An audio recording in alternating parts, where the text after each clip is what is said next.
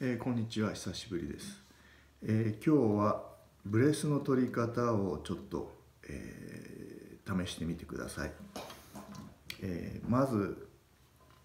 えー、一つこういうブレスですね。楽器息を吸う時はまだ楽器を当てないで吸ってから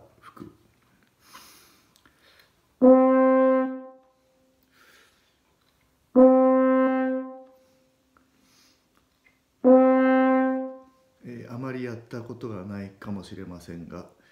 えー、唇に対するプレスが、えー、ほぼかからないですね。吹く以前に。ですのでこの吹き方は試してみてください。瞬間的に唇をまとめる訓練にもなります。次2つ目、えー、下の方は、まあ、吹く位置にあってブレスを取る。ブレスは口ほぼ口全体で取ります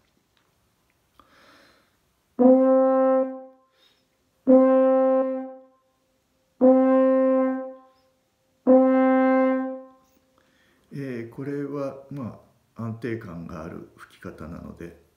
そして上唇にもほとんど力が加わりませんので、えー、まあ普段使っているやり方に近いかもしれません。えー、3つ目ですね3つ目は一番普通にやられている、えー、当てた状態で、えー、両サイド唇の両サイドから息を取る。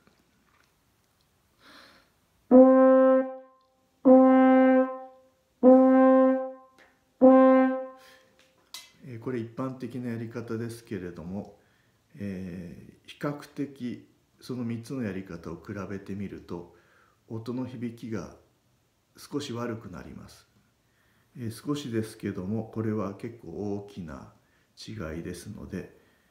えー、この辺が変化があるか自分に変化があるかどうか、えー、確認してください、えー、できれば、まあ、3つの演奏のブレスの取り方で、まあ、全く同じようなストレスで吹けるといいのですけども、えーまあ、まずはその3つの方法を自分で比べてみて、えー、自分の状態を、えー、見つけてくださいそしてあの3つのやり方を組み合わせたりして一番いい音が出る状態で息を吸うというのをちょっと考えてみてください。それでは